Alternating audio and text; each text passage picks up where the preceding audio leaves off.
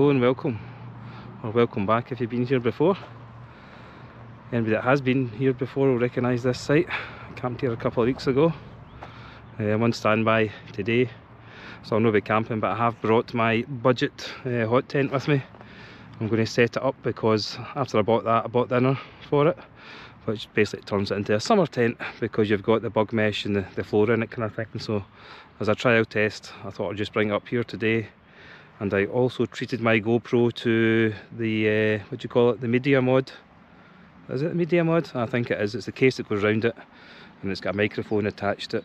Uh, you've got access to the charging port. A three and a half mil jack point and something else. I can't remember what it is but it was more for the wind noise because I've always been moaning about the wind noise in the videos I've been taking.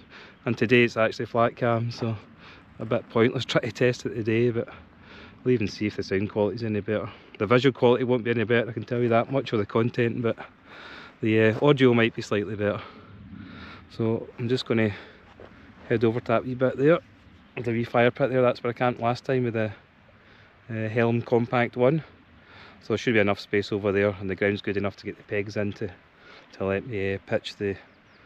It's a TP tent, it was made by Toplander, but we'll go through that later on. There's the first problem with the media mod. You put that case around it, uh, you can't actually get the thread of the uh, the tripod into the bottom of the GoPro. It's not so handy, you must have to buy an extension. I'm sure there's something available, but that's not the point. It should maybe come with something like that, especially when it's for the, the Hero 12 that has that, and it's the same for the wee tripod there I've got for my phone. Uh, the threaded bit doesn't reach it. So, great start. There we go. Doesn't actually look as if there's been anybody here since last time, certainly not having a fire, because that's all the wood I left behind last time. There you go. Uh, if we look about, there's a bit more growth in the ground actually since last time I was up. Could pose a problem for pitching later on with this growth, but a cracking wee burn there. Right into Loch Eck one of my favourite places and it's local too. Right, so I'm going to start setting up the uh, Toplander tent. As I said earlier the ground should be okay for that. I'm running the GoPro without the media mod now as you will have seen so hopefully the wind stays down anyway but I'll just get on with it.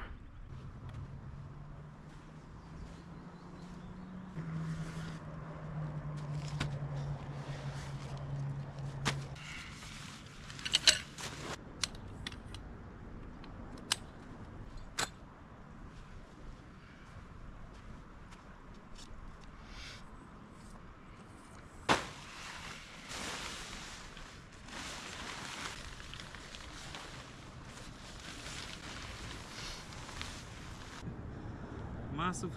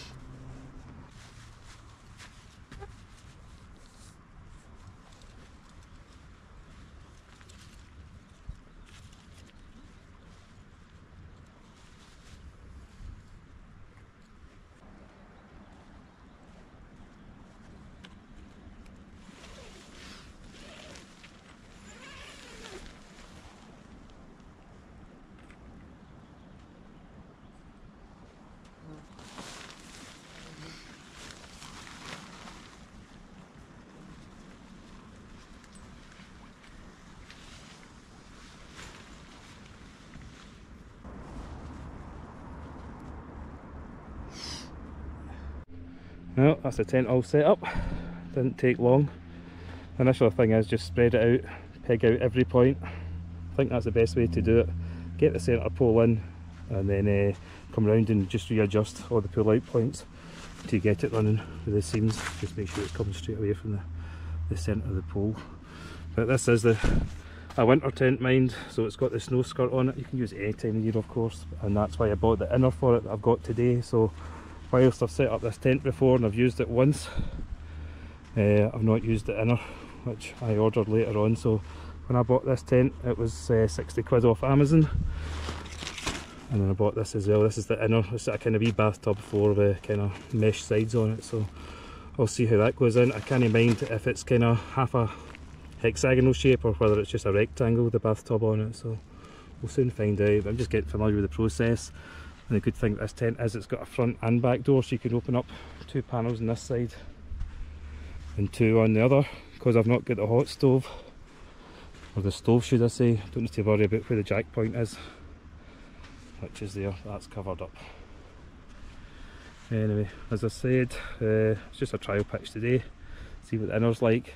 My first ever trial pitch of this tent was actually across the Forster Road over there so everything seems to happen up here but why not? A good place to test things out. That's the rain stopped just a wee shower. Still flat cam over there right enough.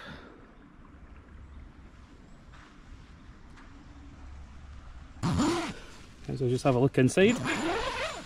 See how many weeds I've captured.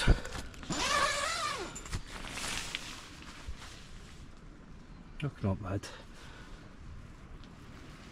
Can live with that. Anyway, going to open up the tent, open up the front door anyway, and I'll try this inner, see how it sits in. Should be a hook. There it is up there. The inner hangs off of, and it should peg out nicely onto the ground. As I say, I don't know if it's rectangular, whether it follows the angles of the tent, but we'll soon find out. Right. Right, just going to try and set up this inner. Hope there's no wind affecting the microphone since my medium odds lying in the, the rucksack.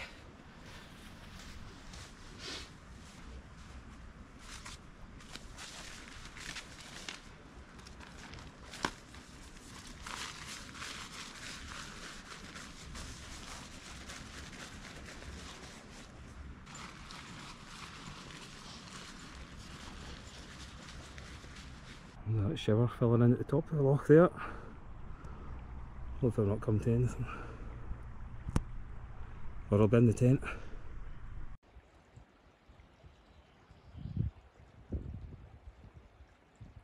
I suppose this thing comes with four pegs. Doesn't feel like it. Fish won't go well. Uh, oh, right, there you go. Can feel midges as well. These pegs are same as the tents. No, they're not. Five of these. You see them? I don't even know where the camera points with this thing. Anyway, five of these kind of heavier duty candy cane type things. Anyway, I'm sure they'll do for inside. This wee bit just goes onto the hook at the top. And there's a wee toggle there you can you can pull to tighten that up. I'll set it at its loosest until we get the extremities pegged out.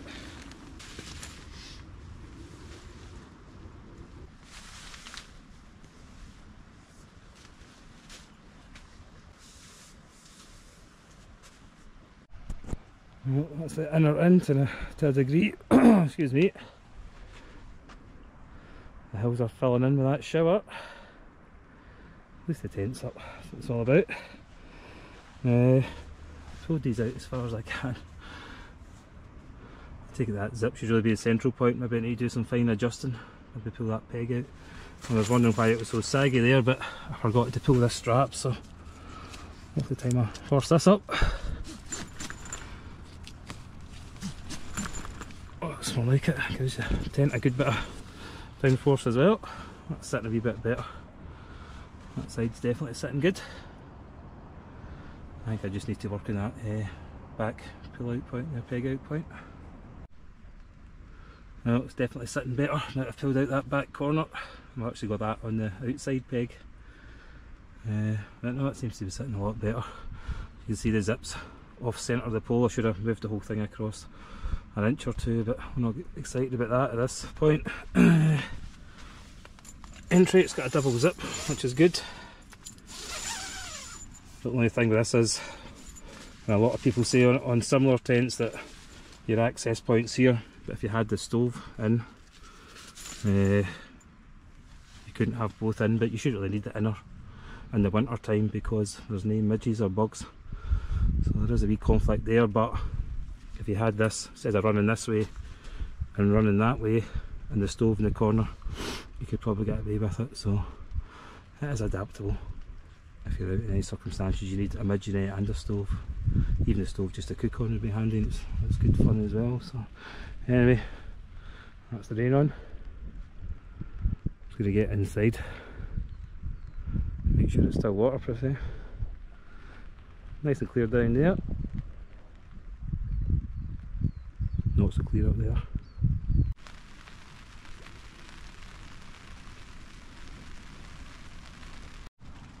just have a look at the inner while it's raining out there. It's certainly rectangular. Mesh on this side mesh on that side. There's no door on that side so there's only like one quarter of the, the inner you can access via a door. One wee pocket in there. Double zip tie up point and the same on this side so. That's not too bad. Know what kind of fabric that is. Sweaty I'd say but there's plenty of ventilation in this so we're just inside in the nick of time. This is a massive tent. I think it's about three and a half metres in diameter so plenty of room. I was going to say you kind of lose that outside bit because the the footprint of the uh, inner doesn't go right into the corner but you can still open the the second door there and put stuff inside. Obviously you need to zip it back up. You can't access it because there's no doorway on this side. It's just a solid mesh panel. But if you really want to access the extremities from inside the tent you can just drop the clip on that and drop the inner uh, and that will give you access there and put it back up save you getting out the tent for stuff if you're pushed for room. But that's my 48 litre rucksack just lost in there. Plenty of space around there. And even when that door's closed you're out to obviously the furthest away peg there and I've got odds and sods there, I've got my lunch there pot of wee sirloin steak out the garage in the way here so might as well enjoy this although it's just a trial period still getting out still enjoying the great outdoors still enjoying something to eat nothing wrong with that only thing I'm missing the is the beer but I can handle that here we go, that's the winter tent turned into a summer tent, just like that. Had an extra 40 quid and a bit of material, that's you sorted. Have a look at it now I'm out it. Plenty of room, just as much room as a, an inner and a, a one man tent, compact one tent, so. Like that, excellent. Hundreds of room out here. And the rain's almost off so I'll get both both doors open, sorry. And I'll uh, get my steak on, I think. Take in the views.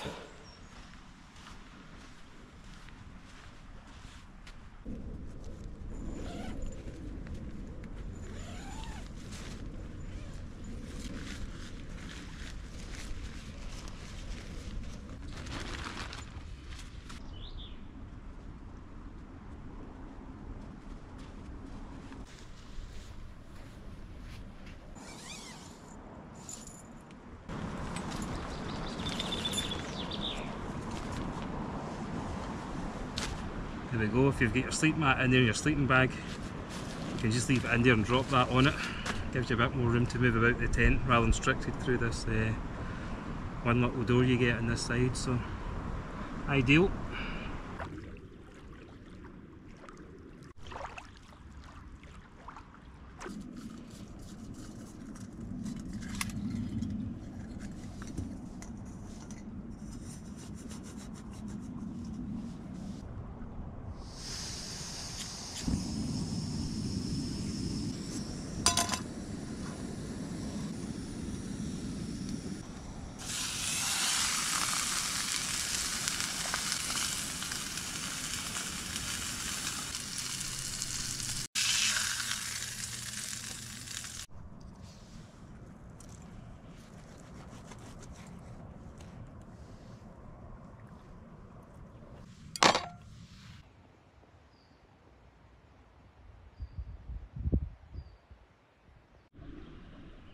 We had my steak lunch, uh, I'm just starting to empty out the tent, so I've done my dishes that stuff out of there, the rucksack's there, so I just need to take out the inner, get that folded into its wee bag and uh, strip the outer and that's me ready to head down the road. But no, it's been a good wee insight, I'm glad I took the time to pitch it. It's straightforward enough anyway, I was familiar with the outer. It was just the inner I wasn't too familiar with, although I've got a similar tent and the principles are the exact same. It's quite handy, it's got that wee uh, toggle at the top there that you can tighten up and then you can just unclip it as long as you remember to take that top bit out the eyelet when you're packing it away so it just keeps it all together. But no certainly good. Ideal as good as I thought it was going to be. Stove jack option still there but no great tent for uh, for all year round now. But it is, it is a massive footprint but you do get rewarded with the, the massive uh, internal floor spaces I suppose so each each their own devices I suppose. It depends. I'm really enjoying using that Helm 1 that I got but obviously it's compact but you can squeeze it into no space at all. Whereas this it's like putting up a, a circus marquee I suppose. But not quite happy with that. For 100 quid absolutely. Anyway I'm just going to pack up the rest of it get the inner out roll it up dismantle the outer roll it up and I'm going to head down the road. So I'd like to thank you for watching. Hope you've enjoyed it. Hope it's been of value. Probably not, but I'm not even camping tonight. But the fact I'm just getting out, a six mile walk, stop, have my lunch in a place like this. That's keeps me happy until I get my next camping fix anyway. But I'll probably come back to this spot in the very near future. It is cracking, winter, summer, whatever time of year you come here. As long as it's not blowing a gale or as long as it's not full of midges, but you can't have it all the time so. Anyway thanks for watching. Hope to see you back and i'll catch you next time. Cheers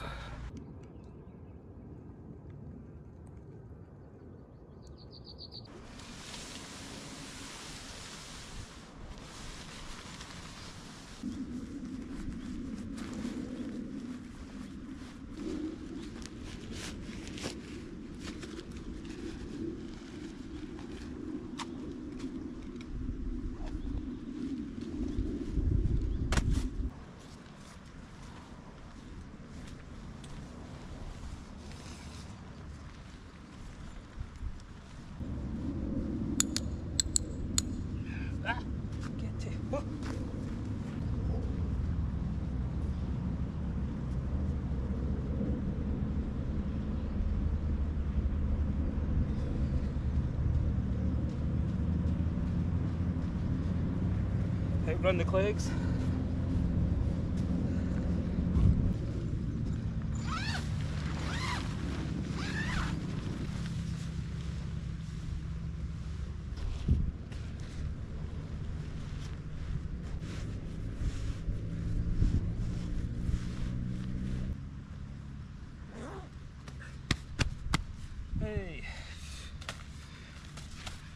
There we go.